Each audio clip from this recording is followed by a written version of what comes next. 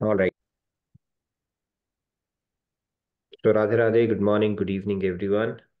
A very warm welcome to the the first session of 2024. Um, hope uh, you have a wonderful start to this new year, 2024. Uh, hope it is a very devotional and a blissful, full of joy, peace, fulfillment, and a lot of uh, spiritual acquisition this year as well for all of us. So wishing again everybody a very happy new year 2024 and happy bhakti divas as well. So with that said let's get started with our today's session with our opening prayers.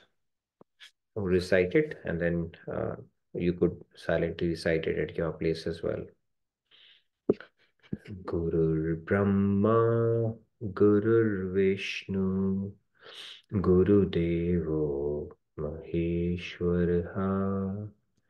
गुरु साक्षात पर ब्रह्म तस्म श्री गुरुवे नमः। वसुदेवसुतं देवं कंसचाणूरमर्दनं Devaki परमानंदम Krishnam Vande Jagadgurum Krishnam Vande Jagadgurum Okay, so Radha Radha, good morning, good evening everyone. Again, a very happy new year 2024 to you. Uh, like I said, it's our first session on 2024 and uh, what better way to get, get started on this one than discussing uh, what is binding karma, what is not binding karma, what is renunciation um, of karma mean? Because karma is something that none of us can stay without, not even for a second. That is what Lord Krishna is talking about. So let's get started. Uh, we, we are on Shloka 4.41 and we'll try to cover this um, and conclude it and uh, continue to build on where we left last time. So I'm going to recite it and then you're welcome to follow along. योगसंन्यस्तकर्माणं ज्ञानसञ्छिन्नसंशयम् आत्मवन्तं न कर्माणि निबध्नन्ति Dhananjay Okay, let's take a few hands. Radhe Radhe Sumesh ji को है? Radhe Radhe Nitin ji Radhe Radhe everyone भोग संन्यस्त कर्माणम ज्ञान संचिन्न संशयम आत्मवंतम न कर्माणि निवदन्ति Dhananjaya Radhe Radhe. Radhe Radhe thank you Shyam ji please go Radhe Radhe. योग संयस्त कर्माणम ज्ञान संचिन्न संचय आत्मवंत न कर्माणि निबद्धंती Dhananjay Radhe Radhe. Radhe Radhe. Radhe Radhe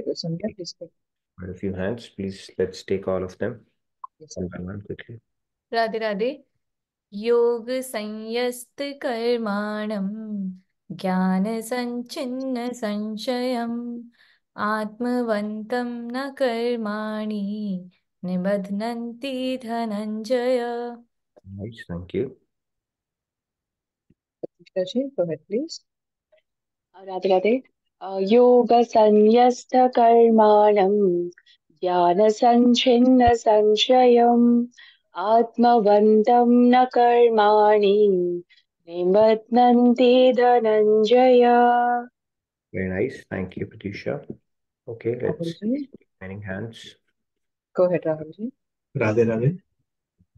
Yoga sanyast karmanam jnana योगसन्न्यस्तकर्माणं ज्ञानसञ्छिन्न संशयम् आत्मवन्तं न कर्माणि निबन्धन्ति Dhananjaya Radhe Radhe thank you Radhe Radhe. Radhe Radhe happy new year everyone योग संन्यस्त Year ज्ञान संचिन्न ज्ञानसञ्चिन्नसंशयम् आत्मवन्तं न कर्माणि निबध्नन्ति Dhananjaya thank you thank you Ragi ji क्या राधे राधे थैंक यू राधे रागी जी। योगसंन्यस्तकर्माणं ज्ञानसञ्चयनसञ्चयम् आत्मवन्तं न कर्माणि निबधनन्ति Dhananjay Very nice. Radhe, Radhe. Okay, let's take the last two hands. Go ahead, Ramya ji. Thank you. Radhe, Radhe. योगसंन्यस्तकर्माणं ज्ञानसञ्चिन्न संशयाम्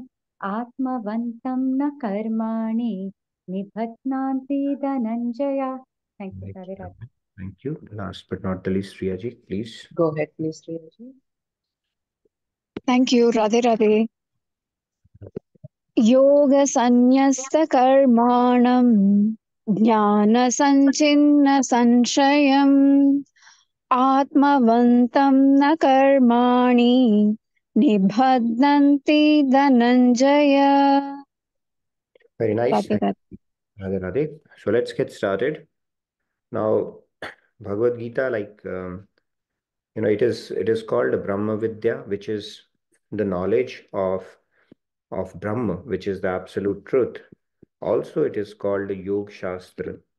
That means it it gives us not only the knowledge about you know God, our relationship with God, and how we need to lead our life, but also it provides us the practical tools. So it's also a, called a Yoga Shastra, where it pro provides you with the precise instructions on what to do and how to carry out, um, you know, your day-to-day work or how to operate in this world. And in this particular shloka, what Lord Krishna is talking about is actions that do not bind. You know, how are they performed? Basically, how can we renounce karma and the renounce the karma so that the karma is not binding? And on one hand, we have to perform karma at every moment. I think one of the questions that came up uh, from Hemangini ji, if you are yes, she's there, that she hears karam and karma, right? So both are same. Okay, it's like you can pronounce it as karam or karma at times. Uh, there are categories of karma or karma that we'll go to, you know, but the essentially the word is the same. There's no difference absolutely between any of these words. Now, uh, how do we make karma a non-binding one is what we are discussing right now. So what Lord Krishna is saying, O Arjun, actions do not bind those who have renounced karma in the fire of yoga, whose doubts have been dispelled by knowledge and who are situated in knowledge of the self. He's used the word Atmavant. Atmavant is one who's situated in the knowledge of the self.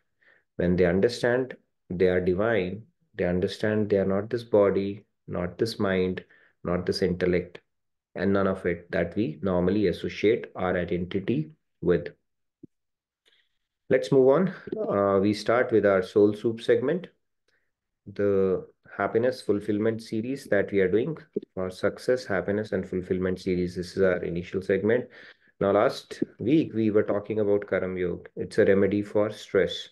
We spoke about it in great detail, and let's continue now on the nugget. Now, the question that I would like to pose is ignorance is bliss.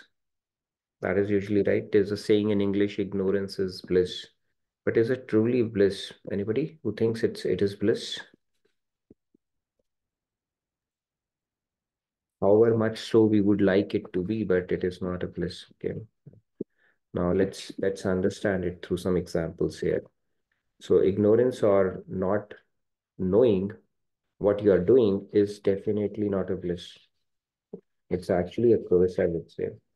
Now let's understand it through a story. Okay, there was a married couple and they were returning from a funeral of their uncle whose name was okay forget it how does it matter one of his uncles so they were returning from the funeral and this uh, uncle of them they had he had lived with them for 20 years and he had been such a nuisance that he had almost succeeded in ruining their marriage okay that is how he was Now, on their way back, when they were coming back from the funeral, husband said, There is something I have to say to you, dear. He told his wife. So he said, Yeah, go on. So he said, If it had not been for my love for you, I wouldn't have tolerated or put up with your uncle for not even for a single day. Okay, that's what he's telling his wife. Now, what is what does the wife says? You said, "Oh, my uncle, you're talking about," and she was horrified on hearing that. She said, "I all along I was thinking it was your uncle." And she was putting up with him, thinking it's my husband's uncle. Okay, both of them were doing the same.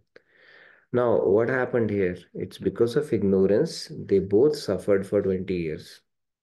So, ignorance, as we understand, the lack of knowledge is definitely not a bliss.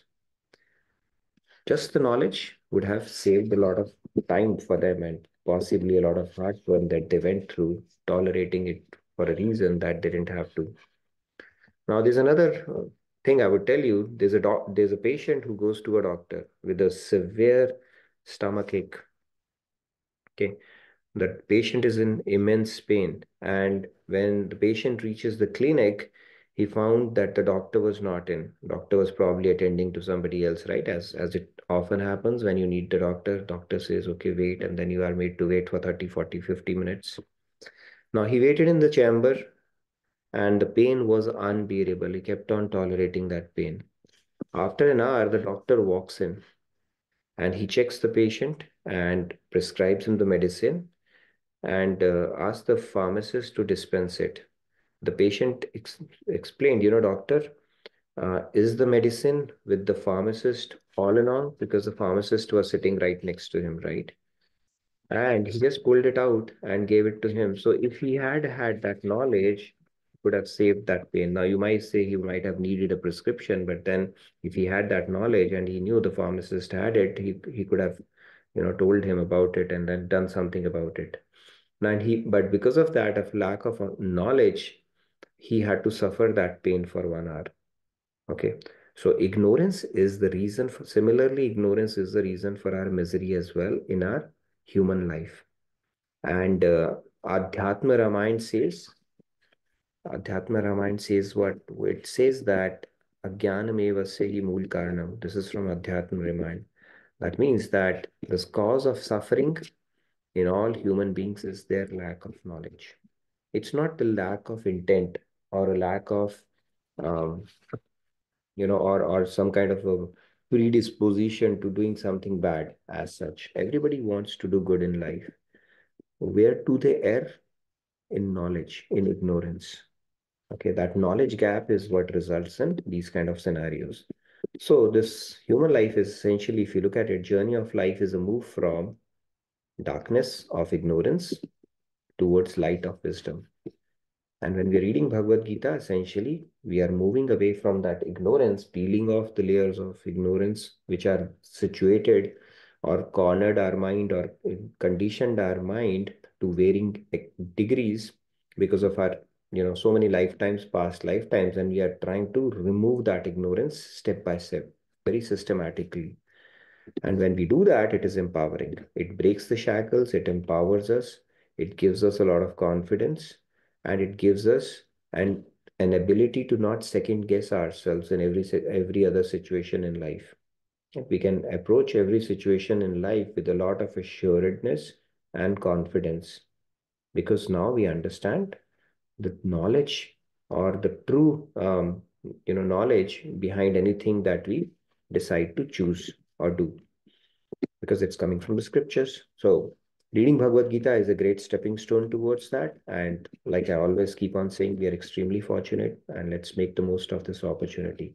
So with that said let's move on to our shloka and get the discussion going. So if we look at it changing an outcome. Let's look at it. Let's eat grandma. Now, this seems horrifying, right? Let's eat grandma. But let's eat, comma, grandma. That changes a lot of stuff. So small bit of knowledge. Punctuation matters. It can save lives also, as you can see that, right? So just a small piece of knowledge can do wonders. Similar to that, a little bit of punctuation, a little bit of correction changes the entire context, the meaning itself. So similarly, a little piece of knowledge can do wonders in our life. Just understanding that, you know, seva or serving God or uh, offering the fruits of our results to God or thinking uh, not so much about the outcome, but the process is the way forward. Any piece of knowledge can actually change the outcome of our lives. Or if you do Bhujangasana, that can actually help you build lower back uh, strength and then it can alleviate your back pain. So any little bit of knowledge that can, it, it has a power to transform or change your life.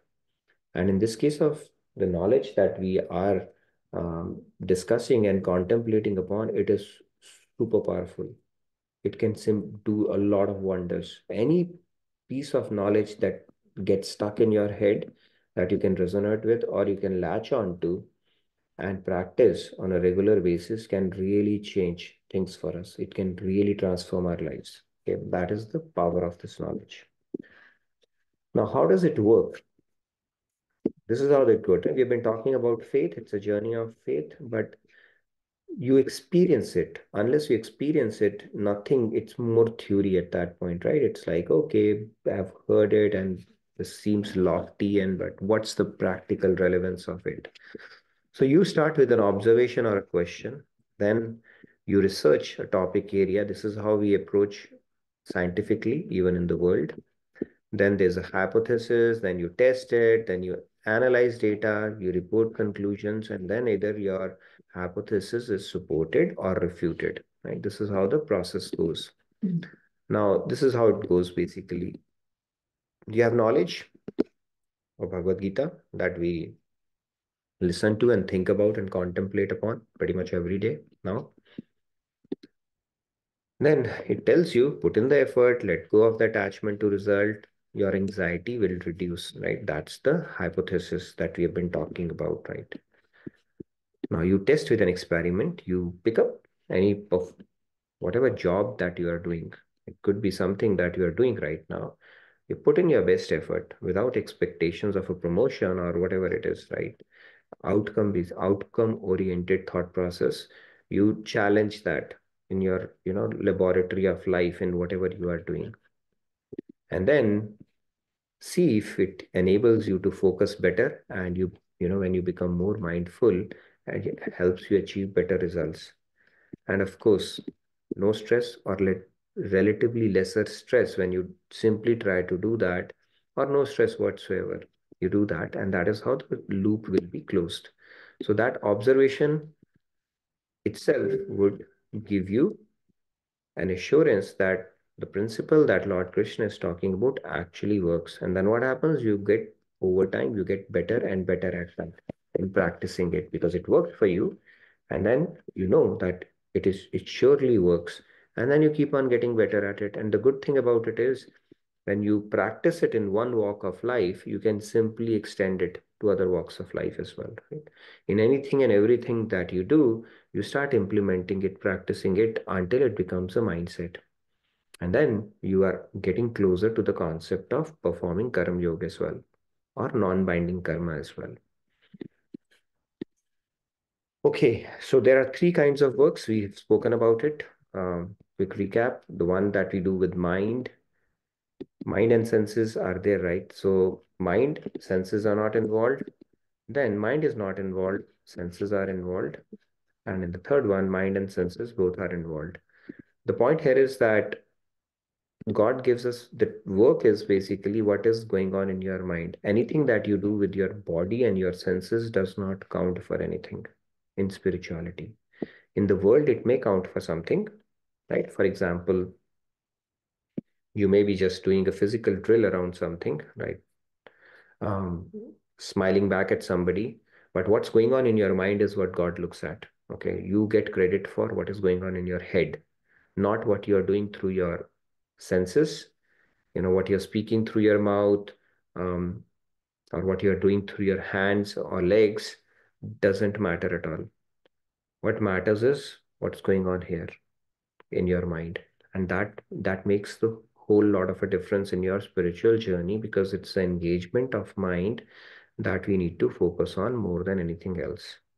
Okay, so that conditioning that we have needs to be reversed and corrected. What is the conditioning? Conditioning is just reciting it, right? Om Jai Jagdish Hare, um, Tan Man Dhan Sab Tera, Kya Lage Mera, and all that stuff. See, we do so many things almost in an autopilot mode without even thinking or engaging our mind in that practice or working towards that principle. Okay, if I've recited that, you know, what does it mean? Do I, why do I need to keep my mind to get closer to uh, what I have spoken about? So it's the engagement of mind that matters more than the physical drill that we are doing through our body or our senses.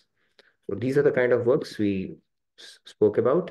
And then we briefly spoke about the mathematics of karma as well. So any karma that you do when that you're doing through your uh, senses, it's a multiplication with zero.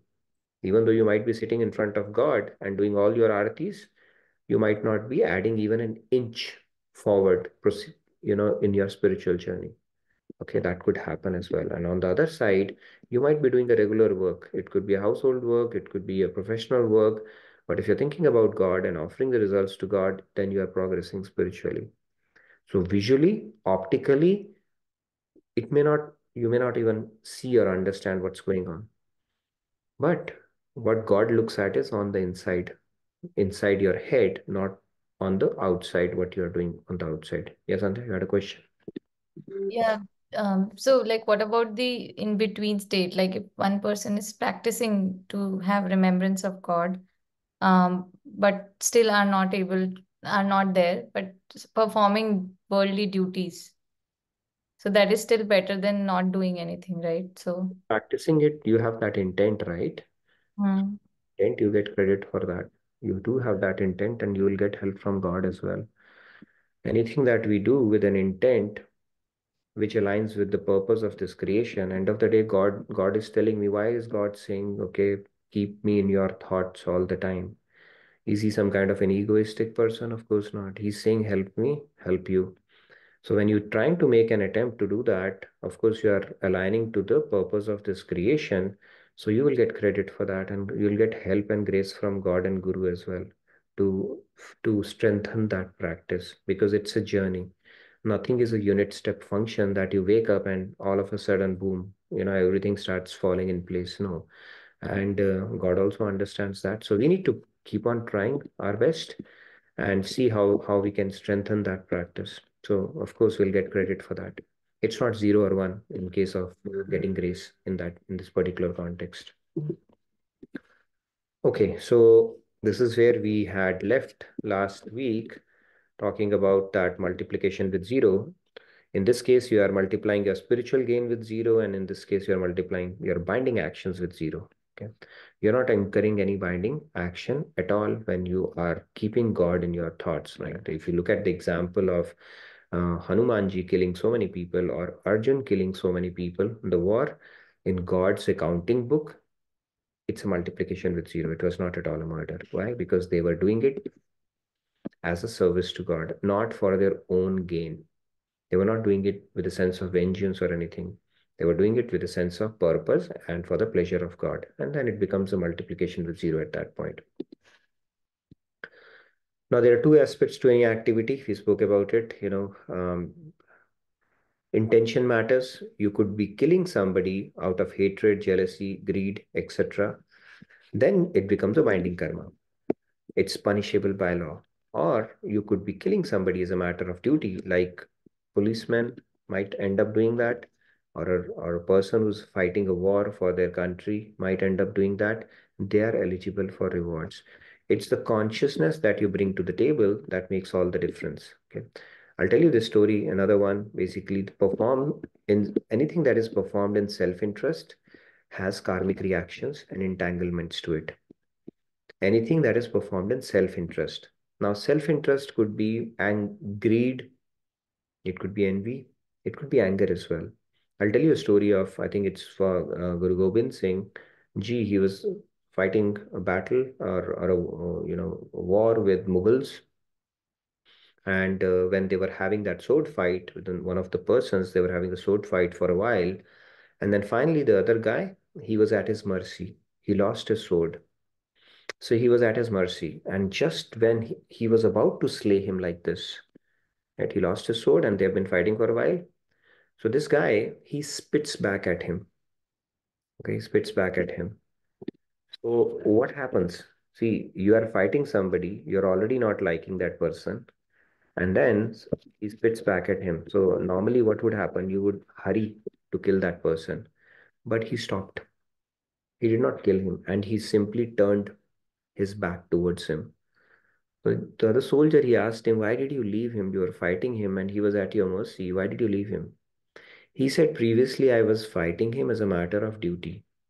Okay, it was a, with a sense of purpose and a duty that he was fighting. But the moment he spit back at me, I got enraged. All of a sudden, anger came inside my mind. And if I had killed him in anger, then it would have been a sin. He understood that principle. So that level of awareness that he had. So the point here is any action that, and the, on the other side, like if we are performing an action, let's say in our job, if you're doing okay, let me do this and I'll have promotion and then I'll enjoy the prestige or I'll enjoy the hefty paycheck and I'll enjoy the vacation and I'll do this, that.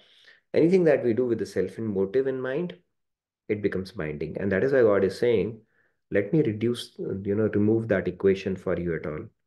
Just offer the fruits to me because the fruit anyway you don't control. It's not that you control and you can, um, you know, guarantee anything for yourself. So why not just leave the fruit and leave it to me and do it for my pleasure? That way you will not incur any binding karma.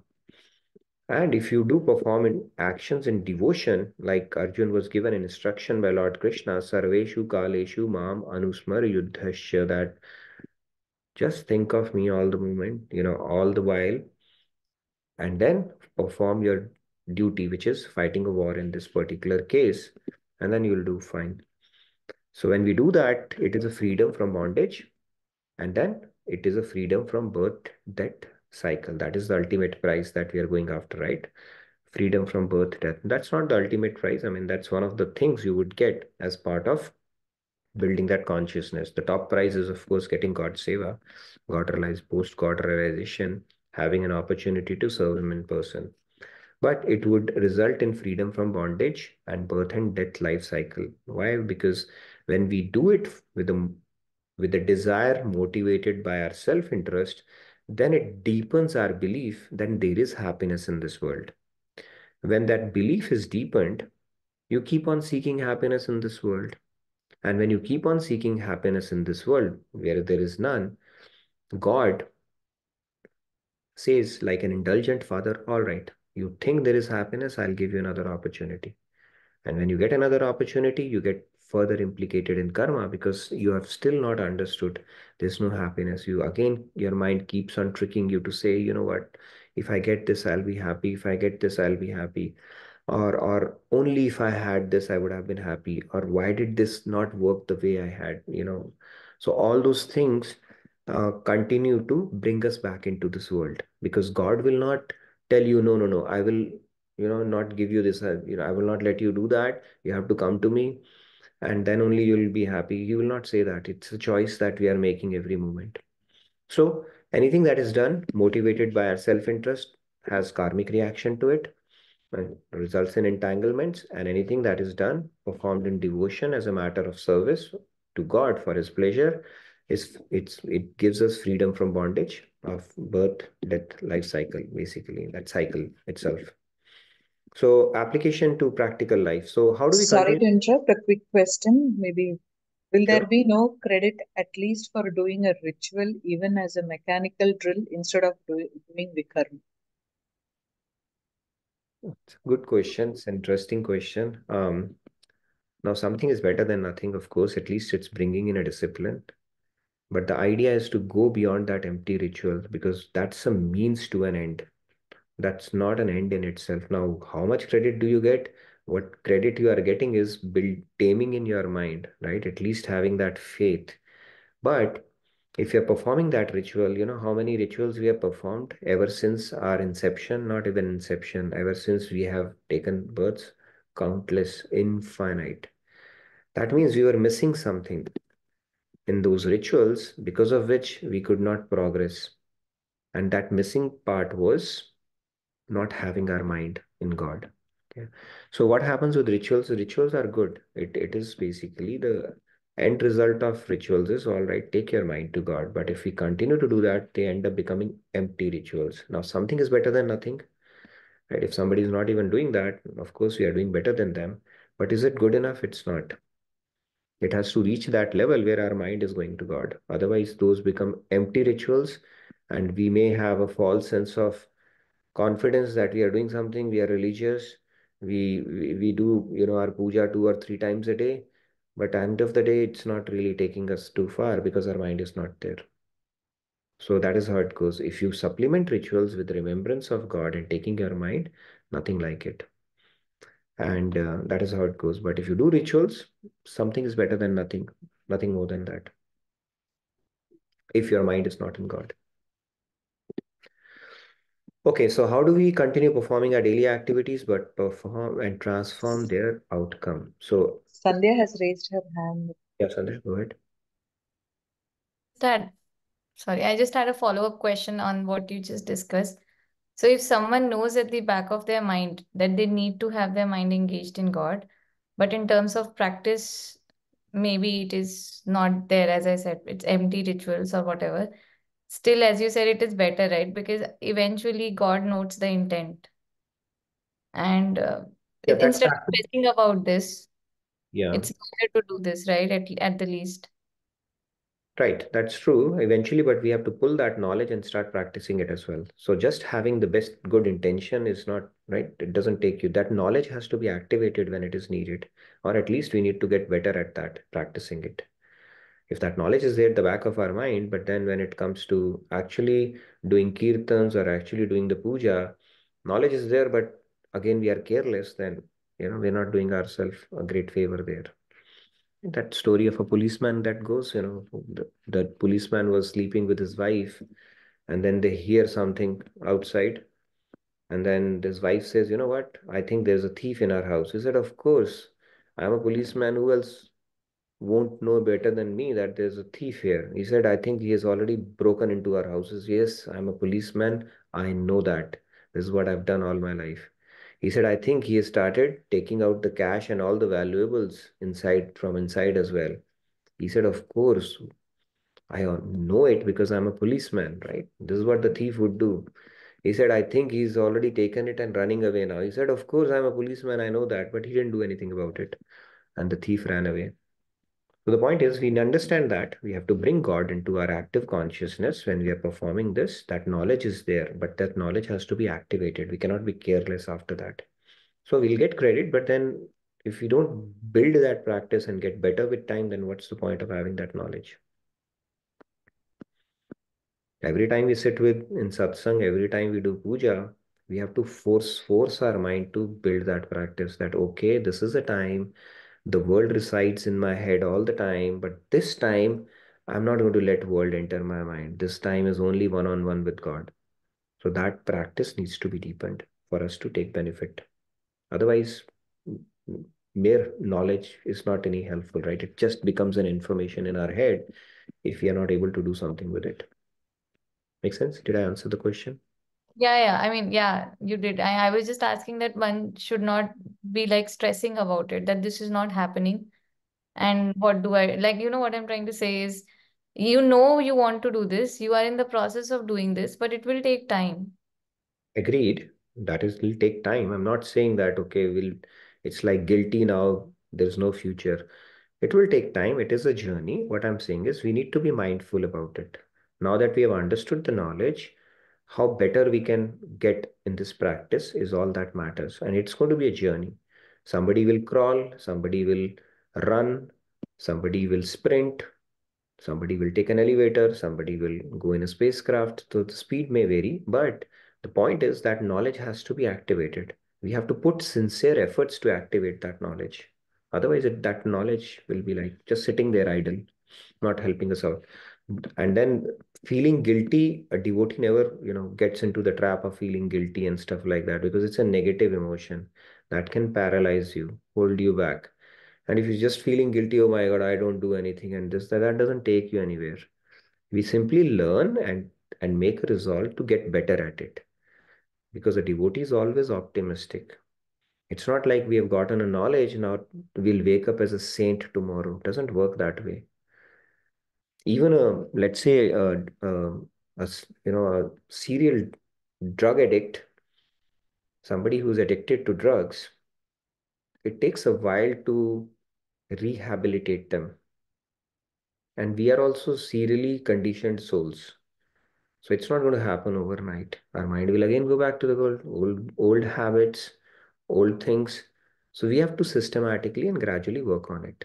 That is what it is. Even if you're improving, it God will be pleased because now we are making an attempt and a sincere effort to uh, get better at that. And it's going to be a journey, of course, for all of us because it's not a unit step function. It's not like now if we become over what you call that anxious about okay why am i not improving? Why is it not happening? It should have happened. That is also not a good understanding. You got to be realistic around it. It happens. It will take time and if you compare yourself with your previous version you would know that you have come a long way so as long as we are progressing further and not regressing that's fine okay there's no reason or point to feel guilty about anything yes Jyoti.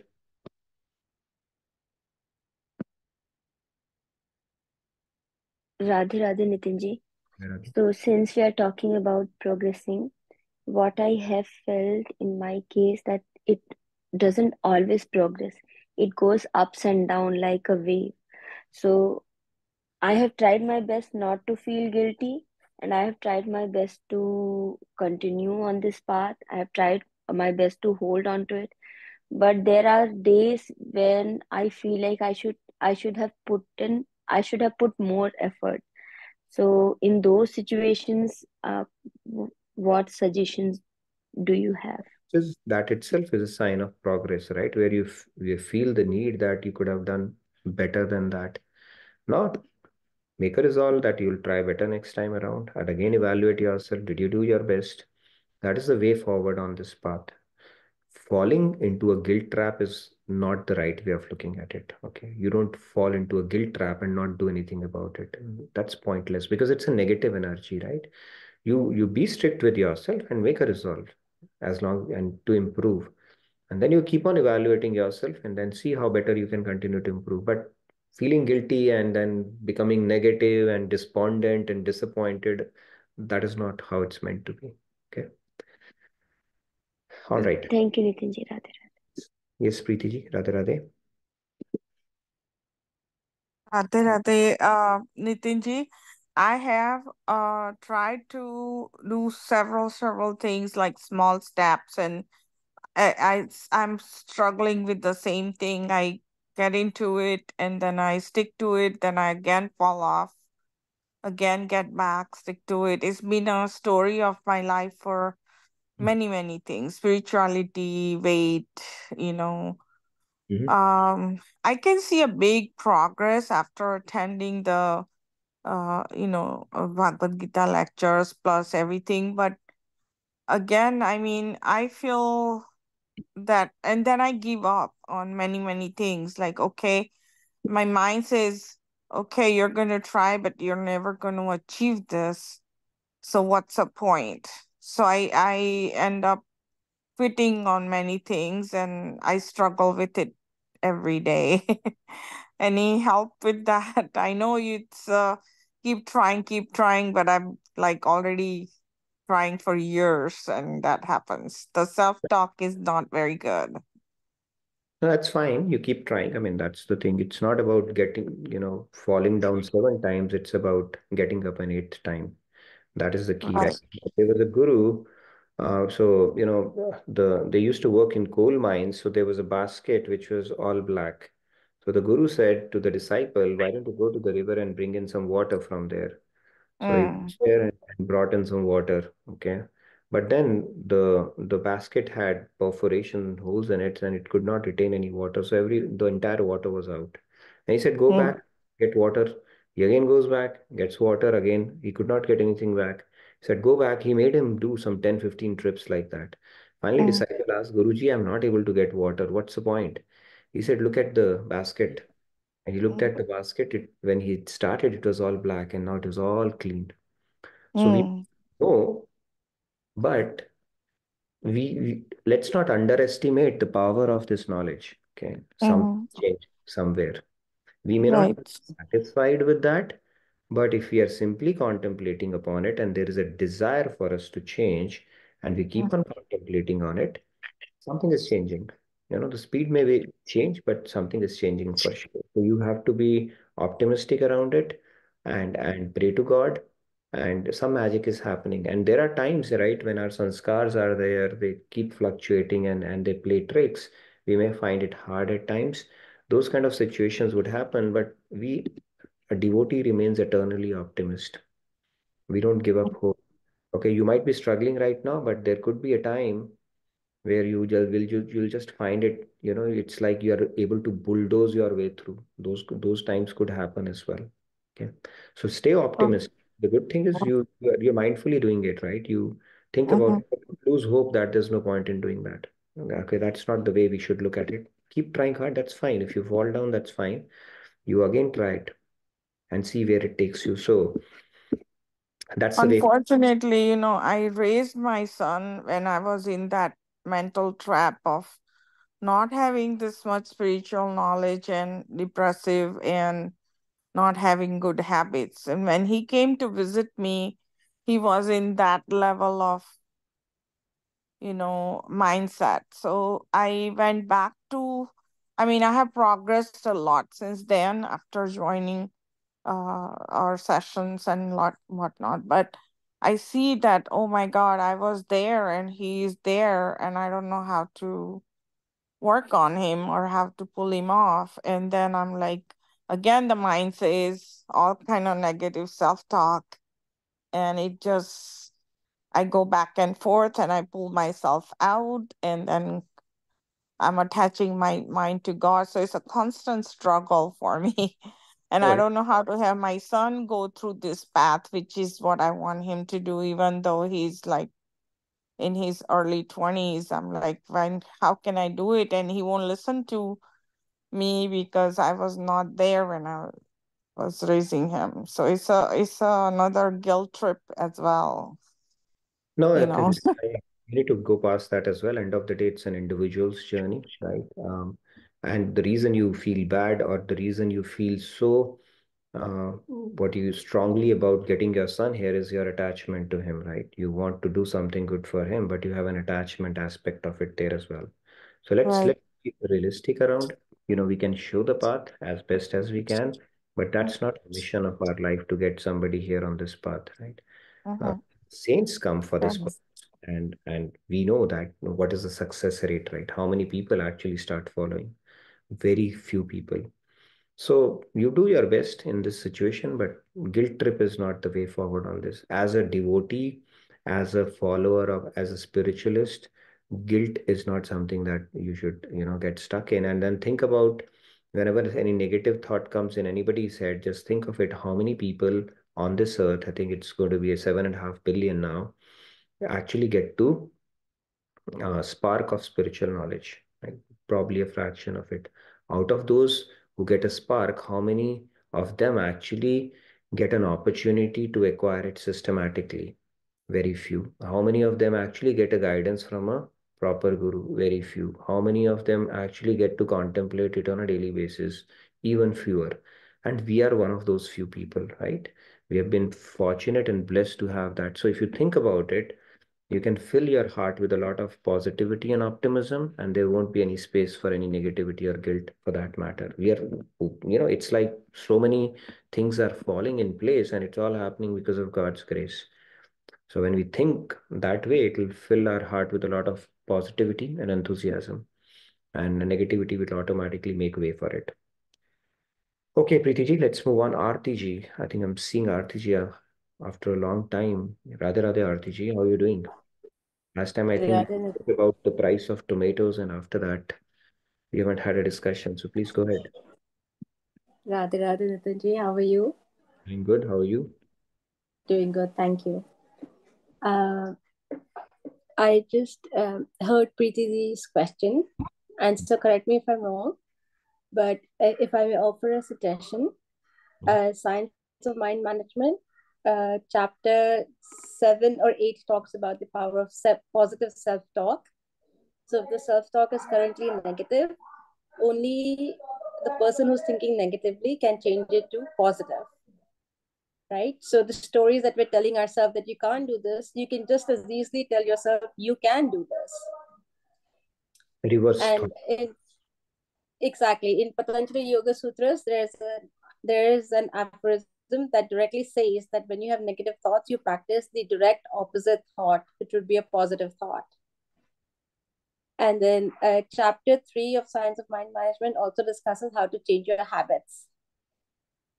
So it all leads into this thing where if you're saying, I can't do this, you can just as easily tell yourself, I can do this. What am I missing? Is it a piece of knowledge? Am I not thinking correctly about this? And then that'll help break the current negative patterns. Great. Thank you, Aarti ji. I was thinking you're the other Aarti ji. There's another Aarti ji she used to talk about uh, price of tomatoes. But yeah, that's a very wonderful nugget you gave. Thank you so much. Yeah, Science of Mind Management. You can get that book. If you don't have a personal copy, please go through that. Swamiji has tackled these topics very systematically, right? He's talking about the self-talk aspect of it. You know, the things that we keep on repeating in our head, certain kind of neural pathways are formed. And then that those are called ruts right? In canada they say choose your rut wisely. So once you are in a rut you are stuck in it for next 15 20 kilometers. Similarly those thought patterns become a second nature to you. And how do you break that? By doing reverse chintan.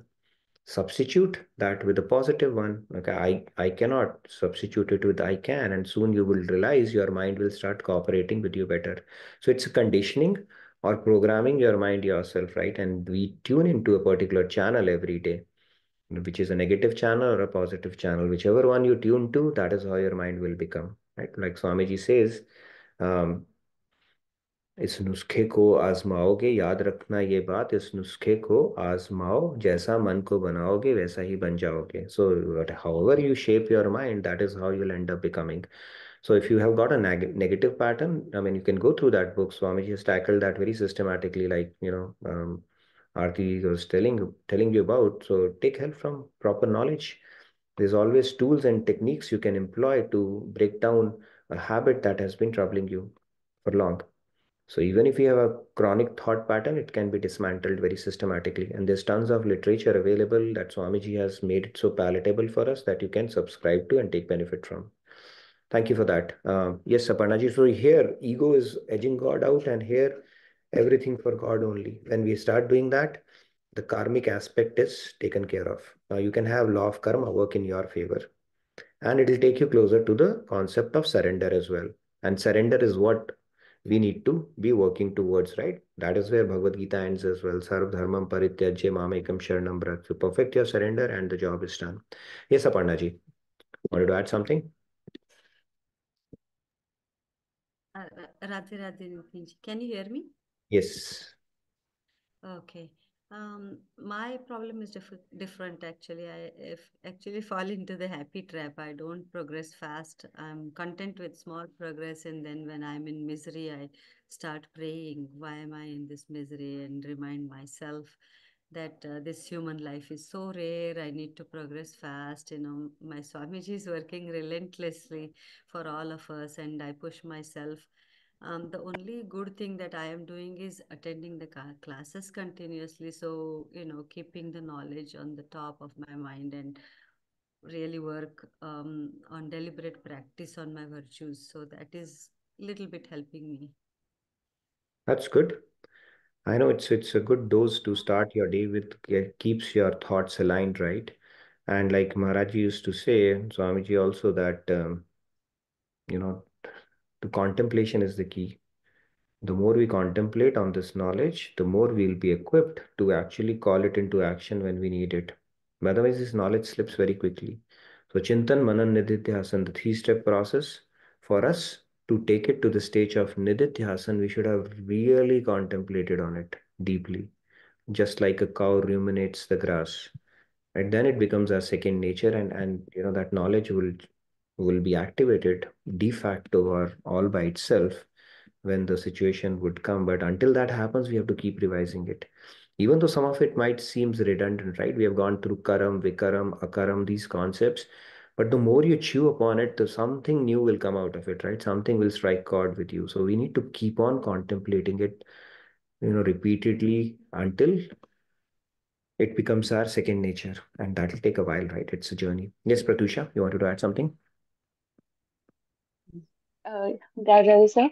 Uh, yeah, I, I was I had two things in my mind. Uh, one thing is uh, karma is basically consequence of our actions, right? So the more we keep doing a particular action, it can be the thought process also, in any way, positive or negative, the consequences, more of that will come, right? So if we are able to, uh, you know, recognize that, for example, we get irritated for some reason, or we get angry, or we get guilt, whatever, uh, sarcasm. So if we keep, you know, if we do that, that we are inviting that in our life.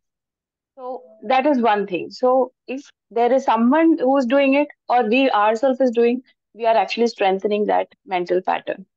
So what is the the biggest thing that actually helped uh, me from you uh, in the last uh, one one one one month is one story that you told me about Viktor Frankl, who was in Auschwitz prison. His, you know, his wife and daughter was killed, but he decided that his mental attitude will be my emotion is in my control. Every time something happens, I specifically I, I have started, you know, that was my nugget that it really well, helped me. My emotion is in my control. Keep repeating that, and it has done really wonders. I I'm very very calm. So um, so that is one thing. Another thing was about uh the, the Preeti ji saying her, her son uh was is in his teens, 18, right? So I've heard uh some in some lecture, not from Swamiji, but a psychologist saying that we can actually change our kid up to age 28. 28. And the best, yeah, 28. And the best way is actually to make them our friend, recognize their strength and their weaknesses. We generally try to impose our things on them, but rather we become their friends and we support them and try to recognize them, appreciate them, and bring them around. You know? And then they will start listening. It happens slowly, but that's the way we can approach. Cool. Pratusha ji, thank you for that uh, nugget. So 28, that's So thank you so that sounds pretty promising. Yeah. And if you liked Viktor Frankl, I think another story that Swamiji narrates is of Helen Keller as well. Helen Keller, I mean, she did not, if you look at it, she was deaf, blind, she could not hear, could not speak. You know, just by touching water and things like that, that is how she, she started educating herself and her attitude towards life, which it's a beautiful present and what she ended up achieving and the way she looked at things around us, that's pretty inspirational as well, despite having so many handicaps. On the other hand, if you have Elvis Presley, people like those who had fame, wealth, money, the which regular people only crave for at his feet, but ended up taking the, their own life. So this is, you know, it's a choice that we are making, and it's only the quality of mind that we can work on. That's the only thing we have are under control. The better the quality of mind, the more controlled we, we our emotions would be, and the closer we'll be to joy, peace, happiness that we've been seeking about, right? That's why Swamiji spent so much of time writing those books so that you know something would click to us and we can focus on this aspect of our spirituality, uh, which is the foundation. Right? It's all all the game of mind. End of the day, cleansing our mind or antakaran as they call it is is the only agenda of human life. Rest all is self-created. Yes, Anita ji. By the Yeah, way, we'll talk about talk about when we talk about karma. Yeah, Anita ji, sorry. Uh, I'll do. I just wanted to uh, provide a bit of a teaser for tomorrow. We're going to talk about pap and punya. Okay, that we usually get hung up with. So it's going to be a fascinating discussion around it. What is pap? What is punya? Because Arjun is also being called to action. You know, we'll we'll talk about the the the different um, phases that uh, Lord Krishna takes Arjun through and during the course of this discussion. And uh, we will talk about what is pap, what is punya. We'll get into the deeper discussion around it tomorrow. Yes, Anita ji, please go ahead Yeah. Radhe Radhe. Interesting, Nitin ji, for tomorrow's session. Uh, for uh, Preetiji's uh, question, I just wanted to add up. Like uh, one of the Swamiji's video, Swamiji says like uh, initially you have to put in more of uh, power, energy. Just like uh, when we launch a satellite, it needs more power to launch, launch um, in the initial stages. Later on, it doesn't require that much of energy. So to inculcate any habit, uh, especially the good habit, we need to um, have more uh, practice. Like, uh, for example, take the example of a doctor, like exercise uh, for um, losing uh, weight or if we want to to uh, achieve that required goal if we are doing 10 sit-ups increase the dosage like do 20 30 40 uh, depending on the requirements. Similarly uh, like swamiji is saying you have to put in your hard effects efforts more put more efforts and increase the dosages. Uh, there you can get better success. And also practicing uh, uh, six points of surrender. In that particularly the um, uh, reminding the graces what we got from god already. Every day sincerely writing the journal what the positive things happened in your life. Because mind pulls uh, always in the negative direction. It just uh, sees the negativity in any situation. So for that uh, uh, it's better to start wherever we are like the starting point okay we should not be lamenting on the uh, past okay i have uh, not done in the past it's repeating same thing again and again. And you also haven't given the elvis presley's uh, example.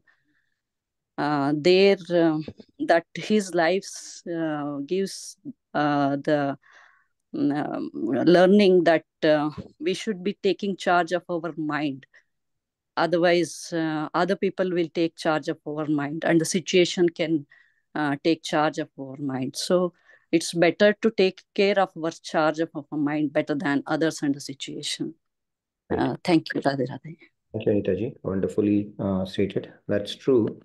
Um, we end of the day, it's a game of you know controlling our mind and and making it a storehouse. It generates about sixty thousand thoughts a day, right? And how do we take it to a place where it, can only generate wholesome, productive thoughts? It's not the case as as yet, and that is why spirituality or what we are doing on a day-to-day basis is a stepping stone towards that the more we purify our antakaran, the more we subscribe to these timeless principles, the better the quality of mind is going to get.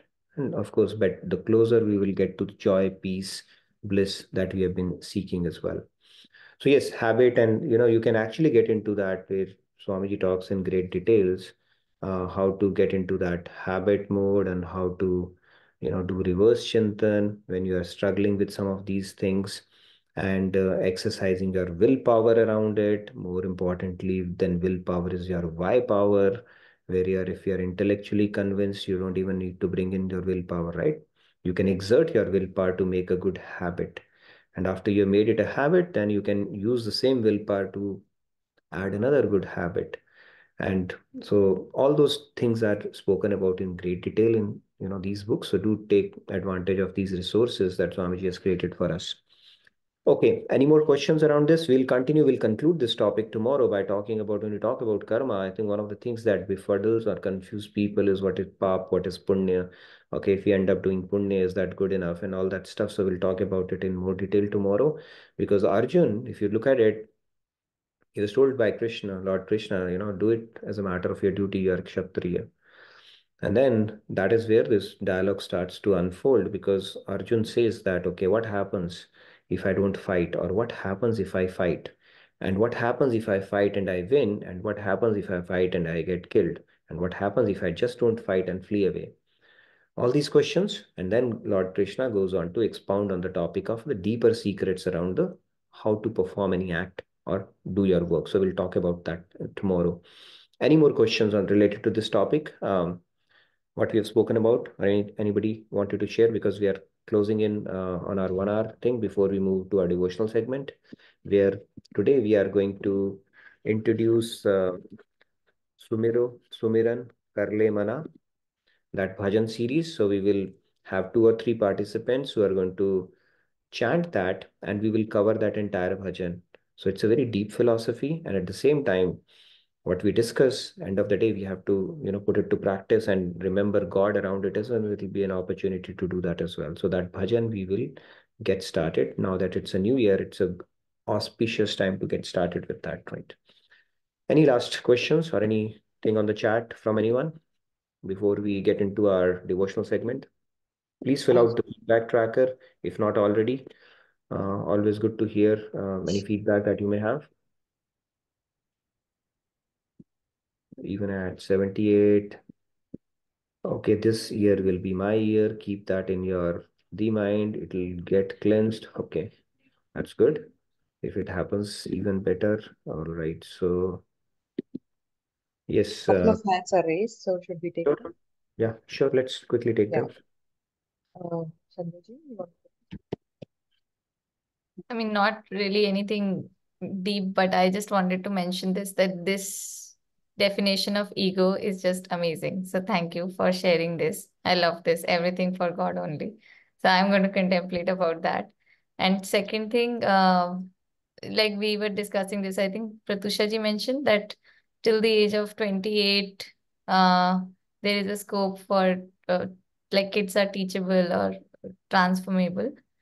But I, at least, yeah, I mean, that's, I think, scientific studies and research uh, appreciate it and respect it. But I also feel that uh, with my experience seeing people around, like even at the age of 78 or whatever, uh, Bhagavad Gita has the power to transform anybody.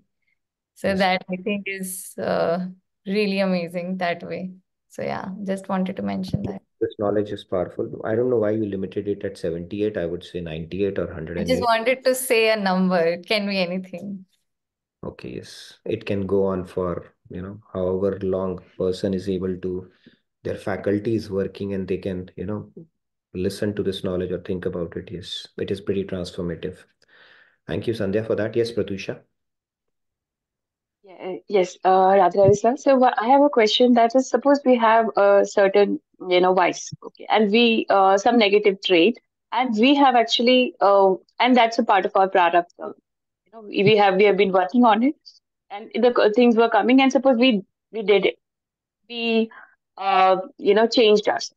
Now we have we must have done that many many lifetimes, right? So the whole sanchit is there. So will it vanish, the sanchit part? Because we have already worked on this. Sanchit, no, see, it's that's an interesting question actually. Um, I will tell you my limited understanding around it. So if, if you have, let's say, some vice, right, because of your past sanskars, past sanskars is there, that means uh, there was a deficiency or some gap in your, um, you know, spiritual wealth, so to say, that could have eradicated, right? Right now, if you have already acquired that, Lord Krishna and Bhagavad Gita says, I'm going to preserve it for you. So it's not like he's going to make you struggle with the same thing again. If you've learned the lesson, if you pass the test, done. You move on to the next thing. So it's not that, okay, if you have conquered a vice in this life, let's say somebody is an incorrigible drinker or something, right? Some kind of a vice they, they get angry with every other thing and they have mindfully, consciously worked on it in this life. So from tamas to rajas to sattva and probably even beyond, they have gone to that stage. Lord Krishna, uh, being a merciful father, he is assured in Bhagavad Gita, I'm going to preserve it for you. So I don't think, yes, of course, the sanchit you have to deal with as a future prarabdha. But are you going to deal with that particular uh, vice? I don't know. If you have conquered it, you have learned the lesson around it. I think you'll you'll probably Lord Krishna is going to they do the yoga kshem, right? They preserve it for you, God and Guru. That is what my little understanding. Or you can ask Swamiji, right, in SMX or one of the forums. But yeah. The good thing about it is Lord Krishna preserves things. Otherwise, we are on a suicidal mission. If he resets us, we will never get out of it, right? So he said, okay, I'll preserve it for you. I'll give it to you as a gift once you have conquered something. So if you have this much homework, we do this much this in this lifetime, less is remaining. So whatever we do, he's going to preserve it and give it to us whenever we come back as a human. Uh, in due course of time, it manifests, right? It may not manifest immediately, but he knows when is the appropriate time for it to manifest so that you don't have to deal with it again. Good question. Thank you. Yes, Rahul. Just wanted to Your voice is uh, breaking. You your lips are moving, but the voice is not coming. Again, the same thing is happening. Something is not Maybe you want to turn off your camera and try? Yeah.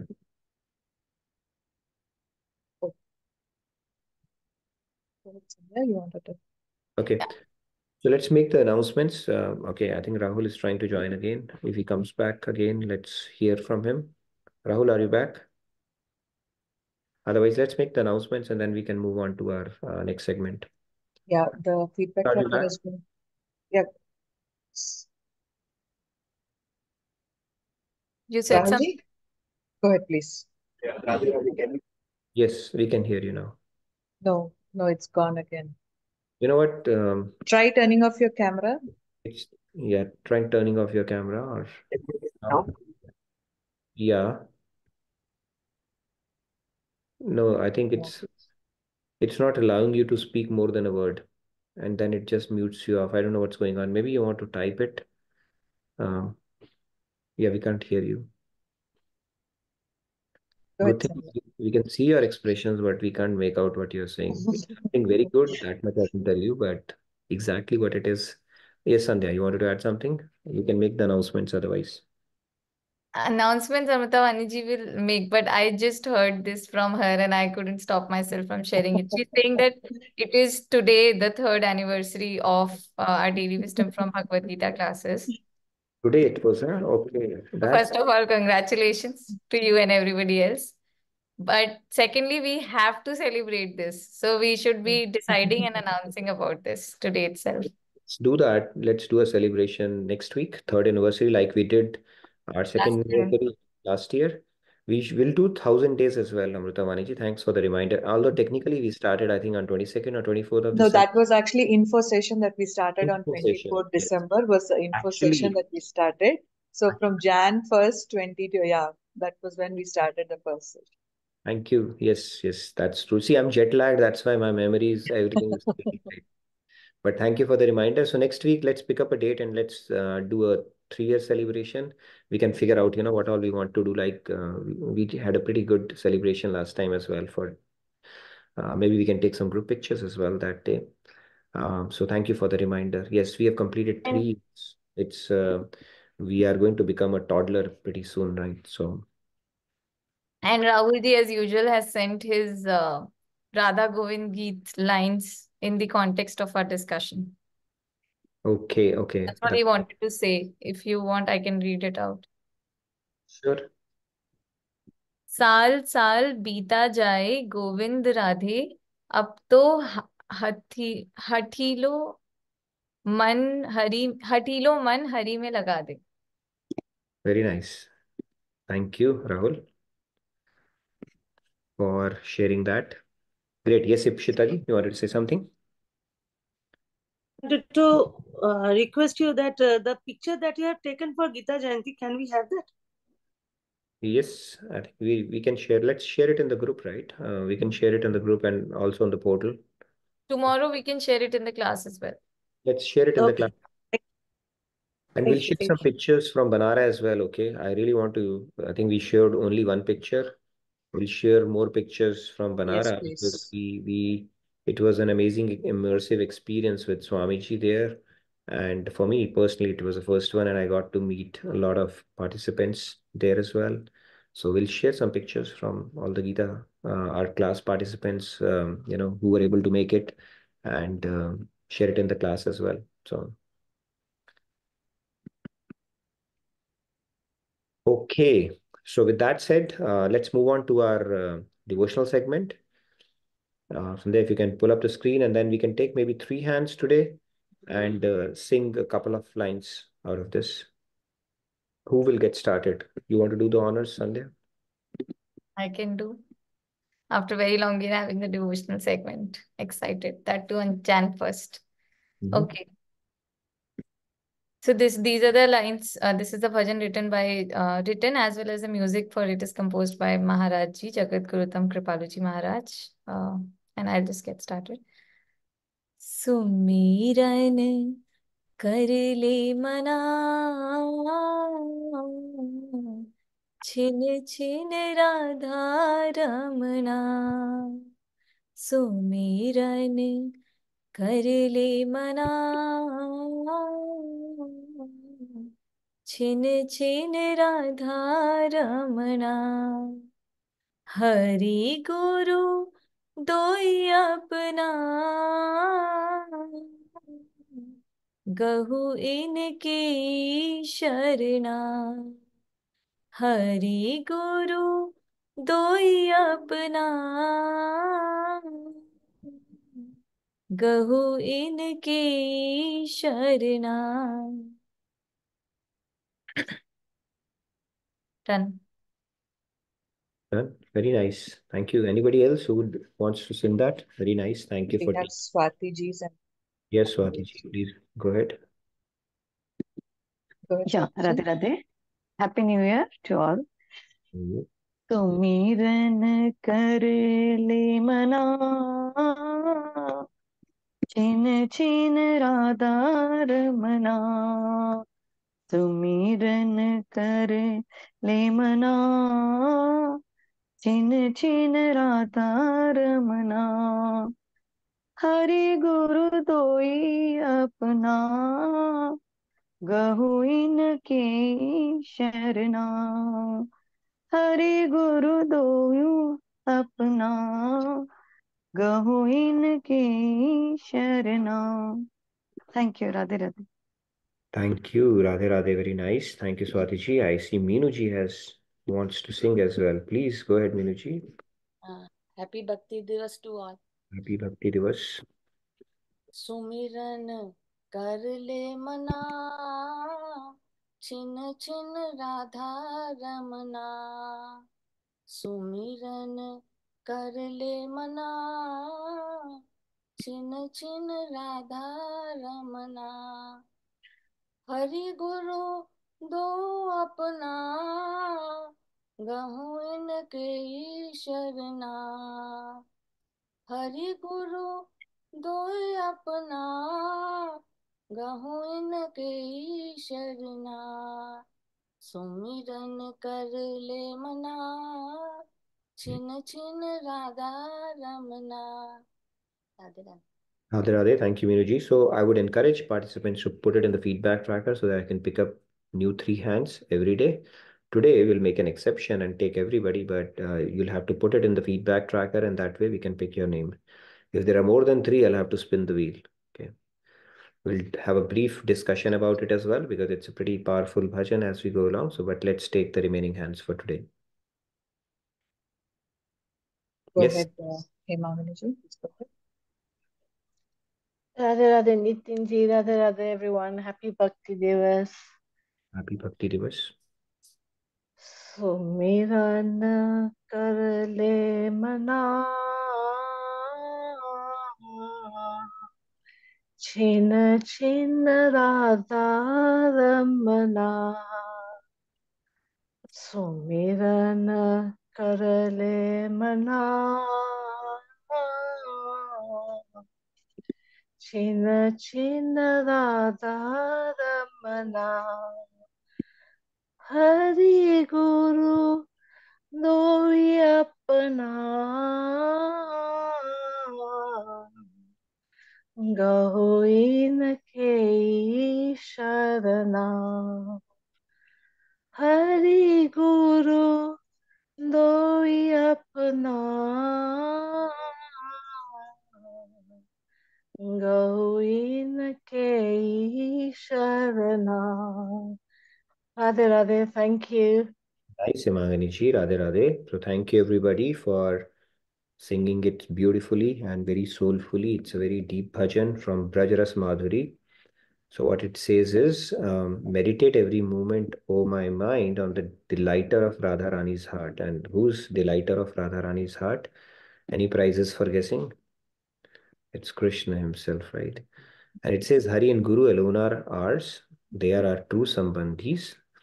They are the only one who actually accompany us in every lifetime.